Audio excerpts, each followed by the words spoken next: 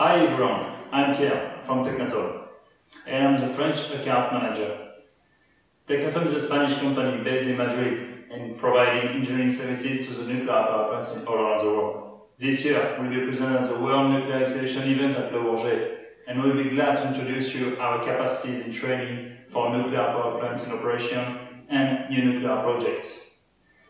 So please come to visit our booth at the Training Planet area meet our people and start our collaboration. See you there in Paris, la plus belle ville du monde.